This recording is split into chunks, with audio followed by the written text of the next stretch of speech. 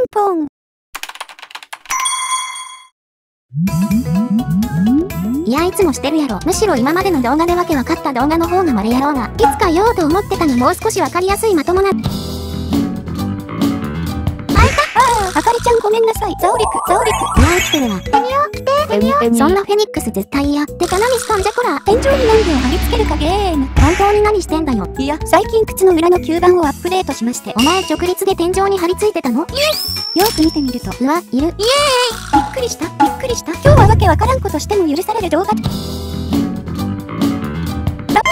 ー、危なー。ちょっと、何を叩きつけようとしてるんですか？す、すみません。